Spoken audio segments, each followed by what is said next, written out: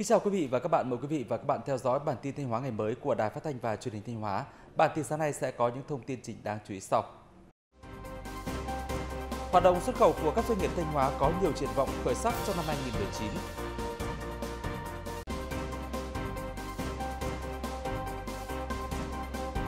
Hiện giá lợn hơi đã tăng từ 9 đến 10.000 đồng một kg so với thời kỳ đầu công bố dịch tả lợn châu Phi. Đây là tín hiệu vui đối với hộ chăn nuôi lợn trong tỉnh.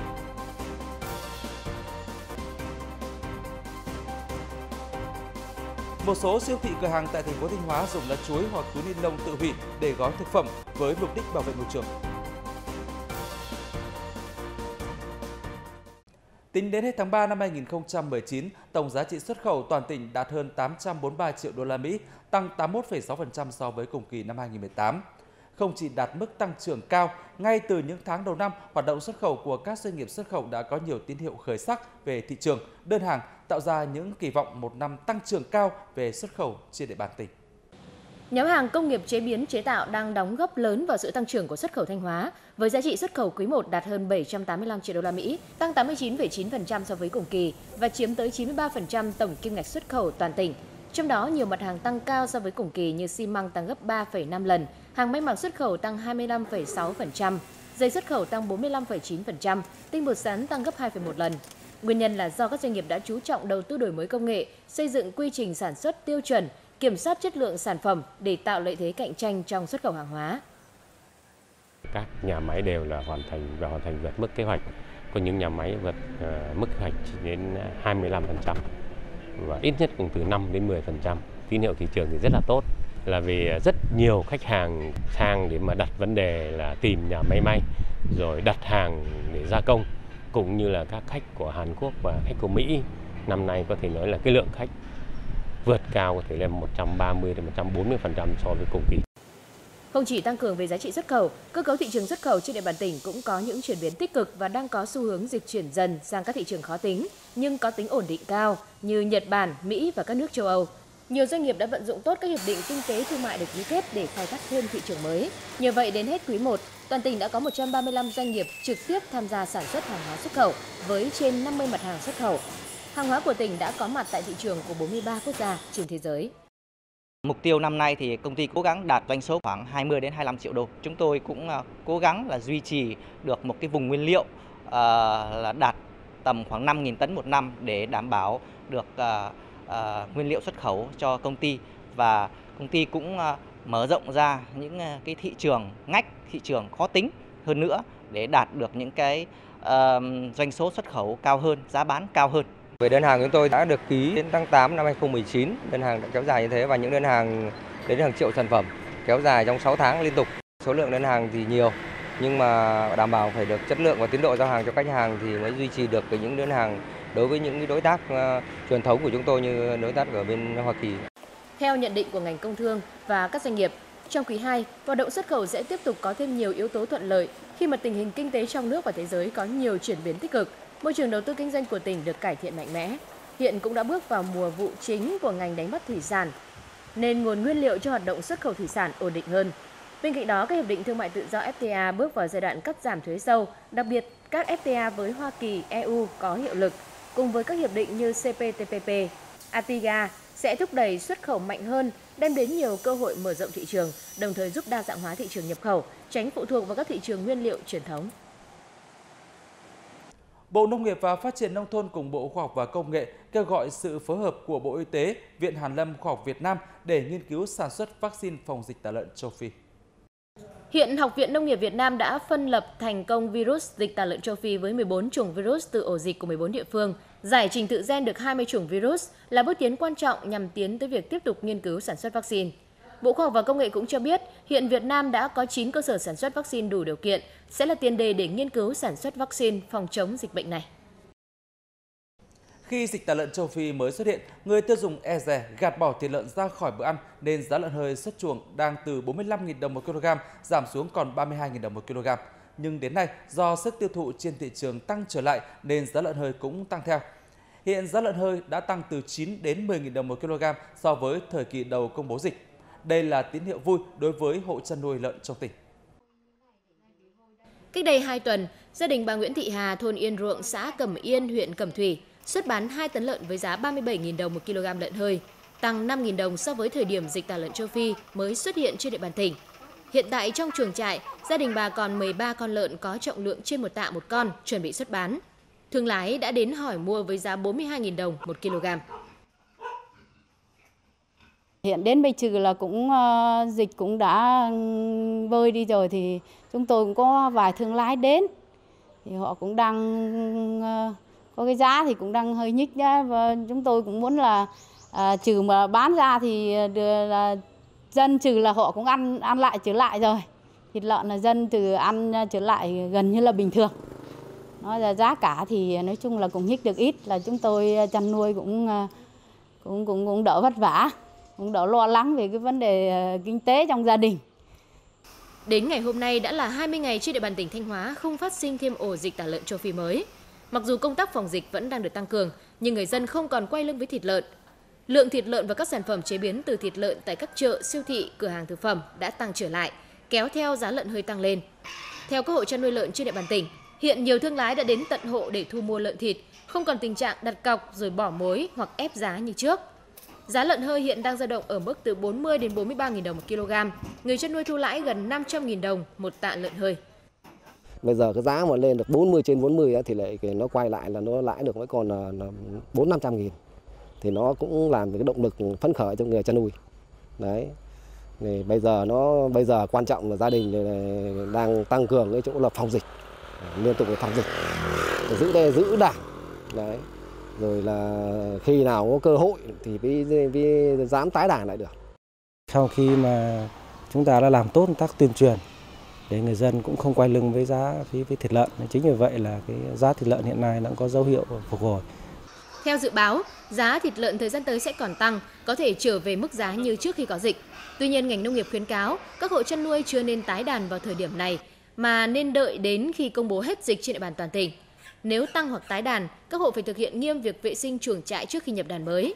Về lâu dài, các hộ nên áp dụng các biện pháp chăn nuôi an toàn sinh học để kiểm soát dịch bệnh, hạn chế rủi ro thiệt hại do dịch bệnh gây nên.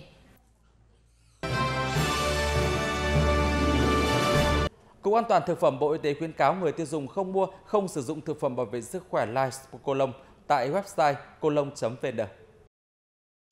Theo thông tin từ Cục An toàn Thực phẩm Bộ Y tế, trong thời gian vừa qua trên website colon.vn có quảng cáo sản phẩm thực phẩm bảo vệ sức khỏe dành cho người bị viêm đại tràng có tên Life do công ty cổ phần Europharma Việt Nam, địa chỉ số 22, lô 16, khu đô thị Văn Khê, phường La Khê, quận Hà Đông, thành phố Hà Nội công bố và chịu trách nhiệm sản phẩm. Sau khi làm việc với Cục An toàn Thực phẩm, đại diện công ty cổ phần Europharma Việt Nam khẳng định sản phẩm thực phẩm bảo vệ sức khỏe Life Spocolon đang quảng cáo trên website colon.vn không phải do công ty này thực hiện và không chịu trách nhiệm về chất lượng, mức độ an toàn của sản phẩm trên website này. Trong quá trình các cơ quan chức năng xử lý vụ việc, Cục An toàn Thực phẩm, Bộ Y tế khuyến cáo người tiêu dùng không mua, không sử dụng thực phẩm bảo vệ sức khỏe Life Spocolon tại website nêu trên. Tiếp theo, việc dùng nguyên liệu xanh để đóng gói thực phẩm, Liên hiệp hợp tác xã thương mại thành phố Hồ Chí Minh Sài Gòn Coop quyết định ngừng kinh doanh sản phẩm ống hút bằng nhựa trên toàn hệ thống bán lẻ bắt đầu từ tháng 5 năm 2019. Theo đó, từ tháng 5 năm 2019, hệ thống bán lẻ của Liên hiệp Hợp tác xã Thương mại Thành phố Hồ Chí Minh gồm Coopmart, Coop Extra, Coop Food, Coop Smile, Cheers trên cả nước sẽ hoàn toàn ngưng kinh doanh sản phẩm ống hút bằng nhựa. Ngoài ra, Sài Gòn Co-op cũng chủ động loại bỏ các loại ống hút nhựa đính kèm cùng các sản phẩm nhãn hàng riêng. Đồng thời cũng có thông báo yêu cầu các gian hàng thuê mặt bằng trong khu tự doanh hạn chế tối đa sử dụng ống hút nhựa. Ống hút nhựa sẽ được thay thế bằng ống hút giấy, ống hút gạo hoặc ống hút inox, thép an toàn, thủy tinh dành cho cá nhân. Thưa quý vị và các bạn, thời gian gần đây một số siêu thị tại thành phố Thanh Hóa đã dùng lá chuối hoặc túi ni lông tự hủy để gói thực phẩm với mục đích giảm tác động tiêu cực đến môi trường do rác thải ni lông vô cơ.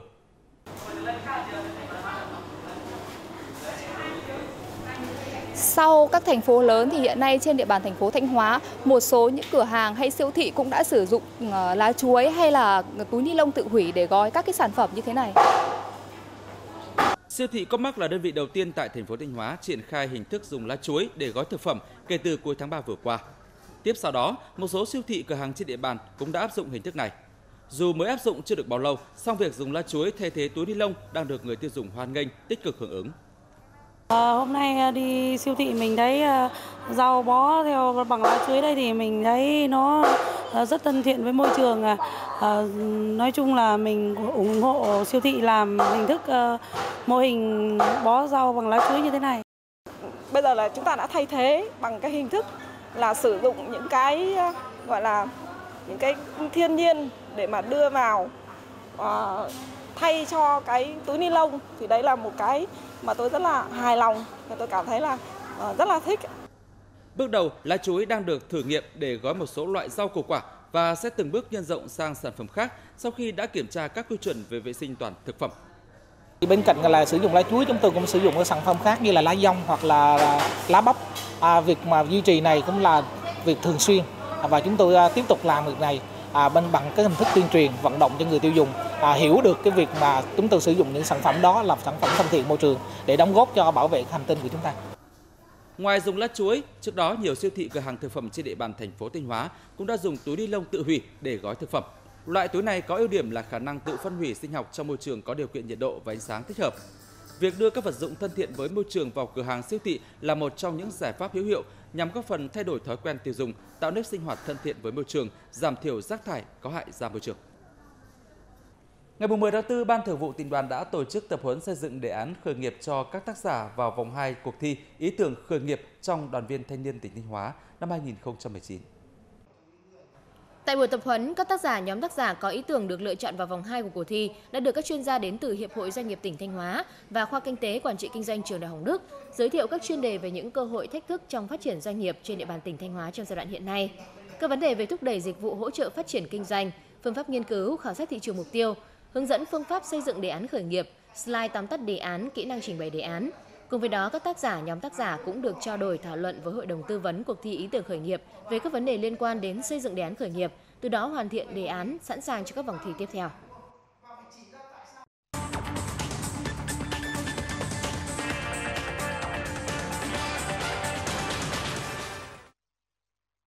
Mời quý vị và các bạn theo dõi một điểm báo Thanh Hóa ngày mới. Thưa quý vị và các bạn, với nhân đề ngành vật liệu xây dựng kẻ khóc người cười, bài đăng trên thời báo kinh tế nêu thực trạng trong khi sản xuất xi măng thắng lớn, xuất khẩu tăng vọt, nhiều sản phẩm vật liệu xây dựng khác lại đang chịu cảnh tồn kho lớn, cạnh tranh ngày càng khốc liệt.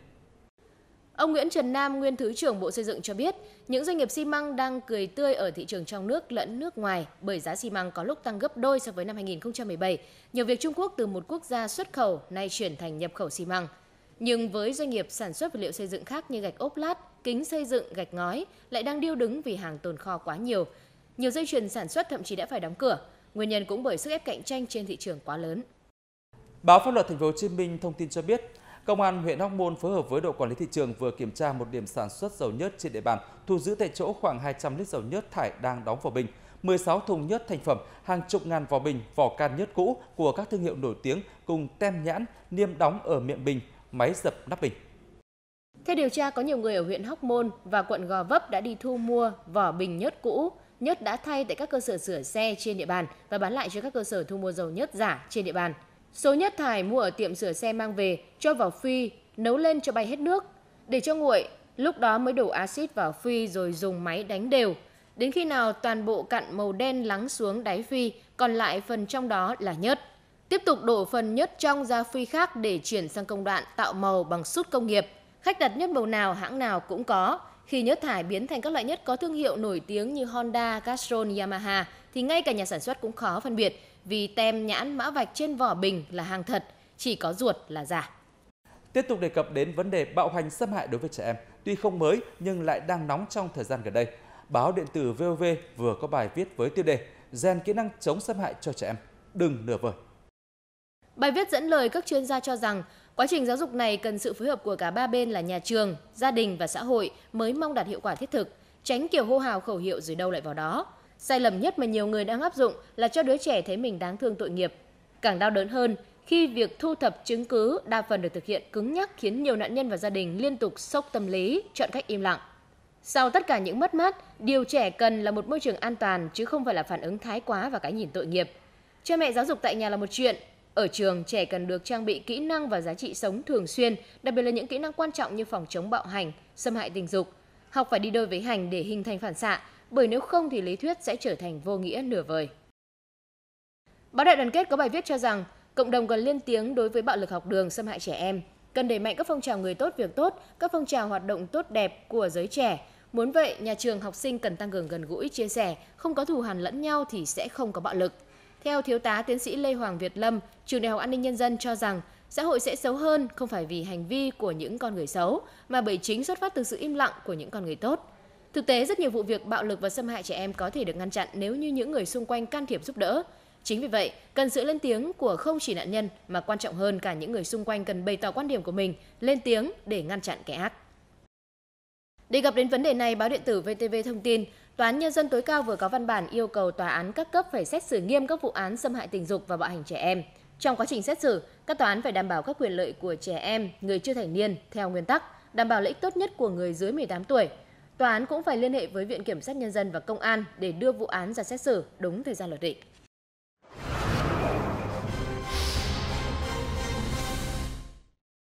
Những tháng đầu năm 2019, các lực lượng công an, thanh tra giao thông, vận tải tiếp tục phối hợp tuần tra kiểm soát, lập trạm kiểm tra tải trọng xe lưu động, phát hiện xử lý xe ô tô chở hàng hóa quá khổ, quá tải theo quy định.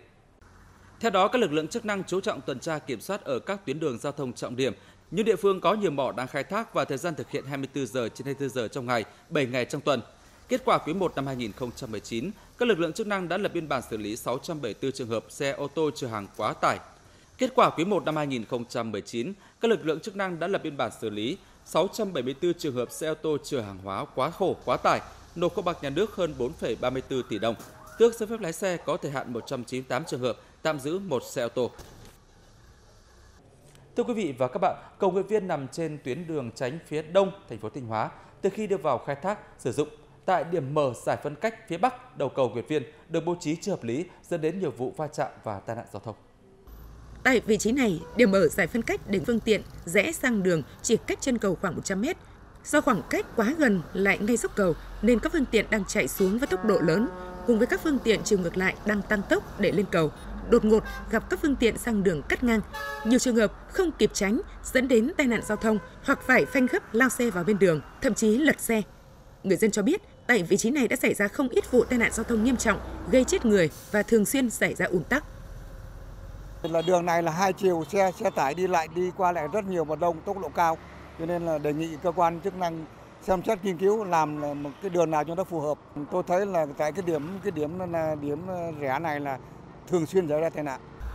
Bên cạnh yếu tố liên quan đến vị trí điểm mở ngay trên cầu, thì điểm mở còn ở ngay giữa vị trí của nhà hàng dành cho xe đường dài nghỉ ngơi ăn uống, nên thường xuyên có tình trạng xe từ đây cua rẽ qua đường để ghé vào gây mất an toàn giao thông. Thưa quý vị và các bạn, từ những bất cập nêu trên thì các ngành chức năng cần nhanh chóng có biện pháp uh, điều chỉnh lại điểm mở giải phân cách sao cho hợp lý, đảm bảo an toàn giao thông trên tuyến kỷ niệm 990 năm Thanh Hóa, Ủy ban nhân dân tỉnh giao Đài Phát thanh và Truyền hình Thanh Hóa phối hợp với các sở, ngành, đơn vị địa phương tổ chức triển lãm Thanh Hóa xưa và nay. Để làm phong phú nội dung triển lãm, ban tổ chức kêu gọi các tổ chức cá nhân tham gia sưu tầm, đóng góp, cung cấp tư liệu, hình ảnh, hiện vật. Cụ thể như sau: các tổ chức cá nhân trong và ngoài nước sưu tầm, cung cấp tư liệu, hình ảnh, hiện vật tiêu biểu về những thành tiệu nổi bật của Thanh Hóa từ xưa đến nay trên các mặt kinh tế, văn hóa, xã hội, khoa học, kỹ thuật, an ninh, quốc phòng gửi về Đài Phát thanh Truyền hình Thanh Hóa. Thời gian tiếp nhận từ ngày 20 tháng 3 năm 2019 đến ngày 15 tháng 4 năm 2019. Nơi tiếp nhận Trung tâm truyền hình triển lãm hỗ trợ quảng cáo Thanh Hóa, Đại lộ Hùng Vương, phường Đông Hải, thành phố Thanh Hóa, tỉnh Thanh Hóa. Email tl thxn 990 nam a gmail.com Điện thoại liên hệ ông Lê Hữu Hùng 0912 601 243, bà Nguyễn Thị Huyên 0918 763 368, bà Lê Thị Hằng 0945 631 365. Bản tin Thanh hóa ngày mới sáng nay xin được kết thúc tại đây. Cảm ơn quý vị và các bạn đã quan tâm theo dõi.